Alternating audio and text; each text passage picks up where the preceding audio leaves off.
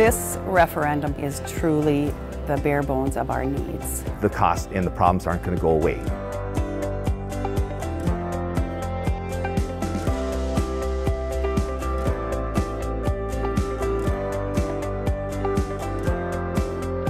With our space, we're maxed out.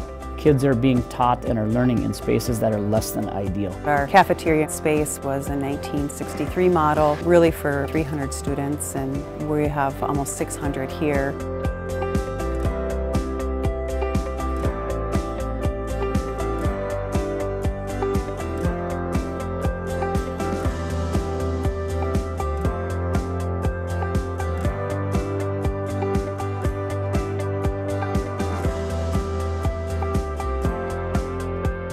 You've got a strong school, you've got families who want to live here, they want to work here, do their shopping here. The two just go hand in hand.